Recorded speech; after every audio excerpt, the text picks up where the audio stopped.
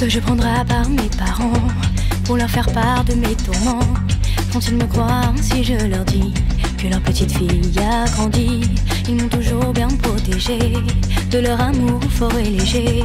Je suis fébrile, c'est agaçant, mais si fragile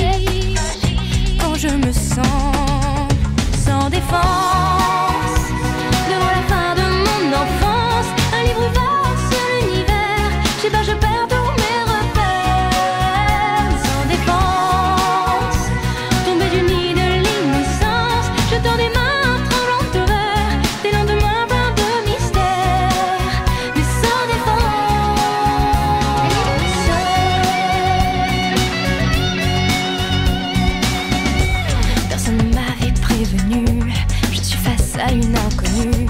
J'ai dû changer, je le vois bien, dans le regard de mes copains. La chrysalide hésite encore, quitter ce cocon, ce confort.